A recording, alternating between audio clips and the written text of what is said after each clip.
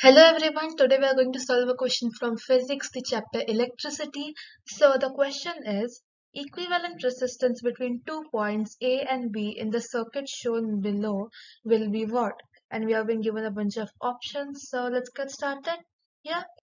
So the first thing that we are going to do is simplify the diagrams. This is the diagram given to us. We have a point A, a point B and a bunch of resistors in between of them.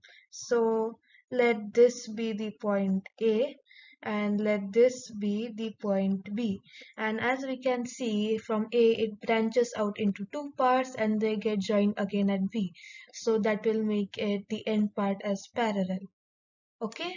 And we can see in the first part there are two 3 ohm resistors. So this is the first resistor the second resistor and yeah and in the second part there are three 2 ohm resistors. So this is the first one second one third one and yeah.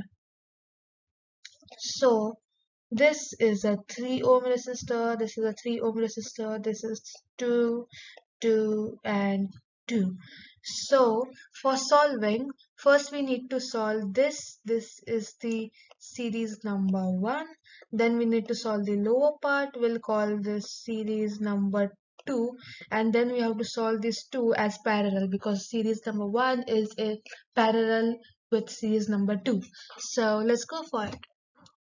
In series number 1 R1 will be resistance number 1 will be equal to 3 ohm plus 3 ohm that is equal to 6 ohm.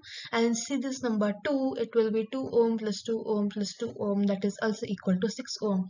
So the total resistance the total equivalent resistance that is in parallel that will be 1 by R equivalent is equal to 1 by 6 plus 1 by 6 that is equal to 2 by 6 that we can simplify to 1 by 3 so R will be equal to 3 ohm.